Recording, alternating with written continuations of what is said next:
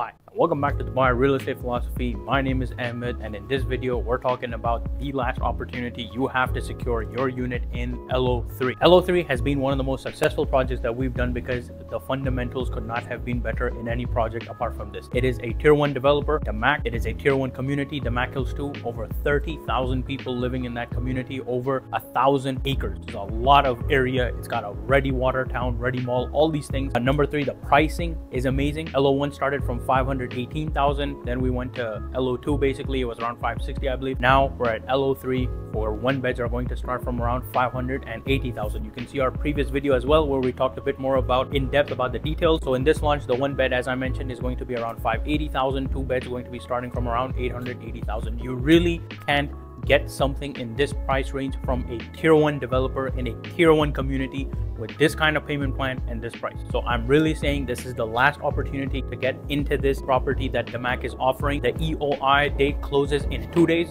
So we have two days exactly from the time you are watching this video to submit our EOIs. For one bed, uh, I believe it's around 25,000 dirhams and for two bed, it's around 50,000 dirhams. We have to submit that. If you're living in Dubai, you can give us a check. If you're living outside of Dubai, we have to transfer to DAMAC's corporate account. Then they will basically give us a token number, uh, depending if you submit it in the bank or you give them a check. Once we deposit that, they'll give us a token number. And then on the launch date, which is going to be most likely 13th of July or 14th of July, they haven't confirmed yet. On that day, we will take the token number. It is first come, first served. So the earlier we submit the token, the earlier chances we have. Now, I would like to mention we do work with Aeon and Trisl. We're the number one rated Emaar agency in Dubai for 2023 and also Q1 2024. And we're also very highly ranked in DAMAC as well. All our clients wanted units in ELO1 and ELO2. We're very, very happy. We're very successful in securing securing all those units. And I have no doubt in my mind that inshallah in ELO3, it will be a very successful launch for all the clients that we do have right now. But this is just a quick video to make sure that this is the last opportunity you have to submit your EOI because if we do not submit the EOI, they will not give us a token number and we will not be able to secure a unit at this price.